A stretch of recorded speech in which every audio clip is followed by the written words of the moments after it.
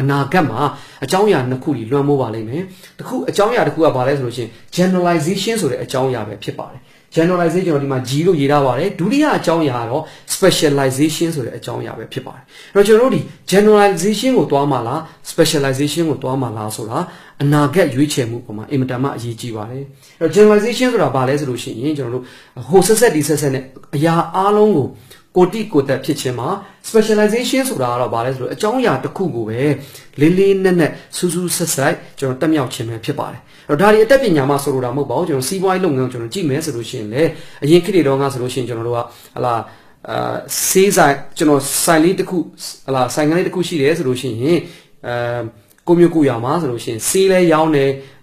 လက်စစ်ပစ္စည်းလဲရောင်းတယ်အင်ဂျီလဲရောင်းတယ် ဟလာဆန်စီစာပြောင်ပဲနန်းဝအကုန်ကျွန်တော်တို့တင်ထားတာမျိုးကိုကျွန်တော်တို့ generalization sign လို့ကျွန်တော်တို့ခေါ်ပါတယ်အစုံတင်တယ်ပေါ့ဗျာဟလာအစုံတင်ထားတဲ့ sign ပေါ့တို့ပေမဲ့လို့တဖြည်းဖြည်းနဲ့ကျွန်တော်တို့အနာဂတ်ဟာဘယ်ကိုရောက်သွားလဲဆိုလို့ရှိရင် specialization ကိုတွားနေပါတယ်ကျွန်တော်တို့ဟလာစေးဝယ်မယ်ဆိုလို့ရှိရင်အရင်တော့က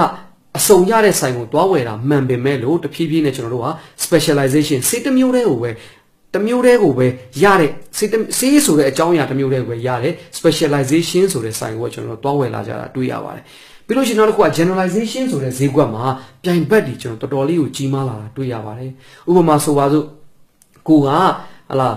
အစုံရောင်းတဲ့ sign တစ်ခုကိုဖွင့်မယ် generalization ဈေးကွက်တွေကိုဝင်မယ်ဆိုလို့ရှိရင် ကိုယ့်ရဲ့ပြိုင်ဘက်ဒီနောက်တစ်ချိန်ညရင်ဘယ်လိုတွေဖြစ်လာမလဲဆိုလို့ရှိရင် city map လို့ shopping mall တွေဖြစ်လာမယ် walmart လို့ shopping mall တွေဖြစ်လာပါမယ်ဘာလို့လဲဆိုလို့ရှိရင်တို့လည်းအစုံရအောင်စူးစမ်းလုပ်ပဲဖြစ်ပါတယ်အဲ့တော့ generalization ဆိုတဲ့ဈေးကွက်မှာကိုယ့်ရဲ့ပြိုင်ဘက်ဒီအင်မတန်မှကြီးပါတယ်ကိုက online store ဆိုလဲထုံနည်း၎င်းပါပဲအစုံရတဲ့ online store ဆိုလို့ရှိရင်ကိုယ့်ရဲ့ပြိုင်ဘက်ဒီအာလီဘာဘာဖြစ်လာပါလိမ့်မယ်ကိုယ့်ရဲ့ပြိုင်ဘက်ဒီ Amazon ဖြစ်လာပါလိမ့်မယ်အဲ့လိုပဲအသိပညာမှာဆိုလို့ရှိရင်ထုံနည်း၎င်းပါပဲကိုကအစုံတိဖို့စူးစမ်းတယ်ဆိုလို့ရှိရင်ကိုယ့်ရဲ့ပြိုင်ဘက်ဒီ Google ဖြစ်လာပါလိမ့်မယ်ကိုယ့်ရဲ့ပြိုင်ဘက်ဒီ Wikipedia ဖြစ်လာပါလိမ့်မယ်ဒါကြောင့်မလို့ generalization ဆိုတဲ့ဈေးကွက်ဒီအင်မတန်မှပြိုင်ဆိုင်မှုကြီးမားတဲ့ဈေးကွက်ဖြစ်လာပါလိမ့်မယ်ပုဂ္ဂလိကဘဝဘဝမှာရောပြီးလို့ရှိရင်ကျွန်တော်ကိုယ်ပိုင်စီးပွားရေးဘဝမှာပါဒီ generalization ဆိုတဲ့ဈေးကွက်ဒီပြိုင်ဘက်ကြီးမားတဲ့ဈေးကွက်ဖြစ်လာပါလိမ့်မယ်ဒါကြောင့်မို့လို့ကျွန်တော်အနေနဲ့ဟလာဒီဘဝနှစ်ခုစလုံးမှာ နောက်အနာဂတ်မှာဘယ်ကိုသွားစေချင်တယ်လဲဆိုလို့ရှိရင် specialization အကြောင်းအရာတစ်မျိုးတည်းကိုပဲကျွမ်းကျွမ်းကျင်ကျင်နဲ့စူးစူးဆက်ဆိုင်ဖြစ်တဲ့ဈေးကွက်ကိုပဲကျွန်တော်သွားစေချင်ပါတယ်ဟလာအသက်ပညာအသိပညာဆိုလို့ရှိရင်ကျွန်တော်တို့အကုန်လုံးသိလို့ရပါတယ်တို့ပေမဲ့အကြောင်းအရာတစ်မျိုးကိုတော့ဖြင့် စူးစူးဆက်ဆိုင်လေးလေးနက်နက် mastery ကြကြကျွန်တော်ကျွမ်းကျင်တက်မြောက်တည်စေချင်ပါတယ်အဲ့လိုပဲစီးပွားရေးလုပ်ငန်းမှာလည်းထုံနည်း၎င်းပါပဲ specialization ဆိုတဲ့ဈေးကွက်တွေဝင်ရောက်စေချင်ပါတယ် specialization ဈေးကွက်ဆိုတာဘယ်လိုလဲဆိုလို့ရှိရင်ကျွန်တော်ခုနကပြောသလိုပါပဲဟလာလူတွေဒီတဖြည်းဖြည်းနဲ့ဈေးကွက်တွေတဖြည်းဖြည်းနဲ့ကိုကဖက်နှက်ဝယ်မယ်ဆိုလို့ရှိရင်လည်းဖက်နှက်အရင်တော့စတိုးဆိုင်ကိုပဲတွားဝယ်တာတွားဝယ်လေးရှိပေမဲ့လို့တဖြည်းဖြည်းနဲ့